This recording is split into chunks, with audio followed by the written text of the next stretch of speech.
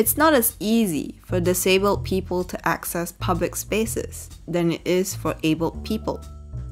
This is because they depend on disabled access features such as seats, toilets, parking spaces, and lifts. How would you feel if someone took up facilities you needed? Ableism refers to discrimination in favor of abled people. Whilst you may have done this with no ill will, when you do these things without a thought, you are exercising your able privilege. What does that mean? When able people use facilities meant for people with disabilities, they are effectively discriminating them.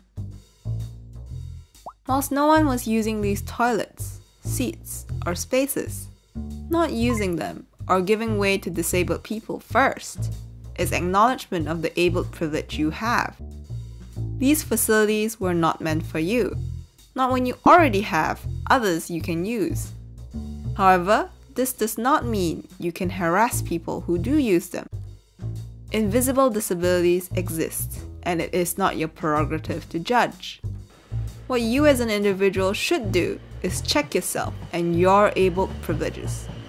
Do you really need these facilities? Chat with your friends and family so that more people are aware of how ableism manifests in public spaces.